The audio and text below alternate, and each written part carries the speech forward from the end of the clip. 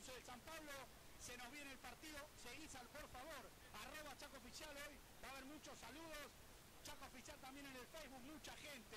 Estadio repleto, una tarde inolvidable y hermoso, Marce, lo que estamos viviendo, y ha ayudado también el tiempo que si bien está haciendo un poco de frío no es tan eh, no hay tanto viento y por ende la temperatura no se hace sentir tanto como el día de ayer y anteayer no ahí están posando los dirigentes de ambas instituciones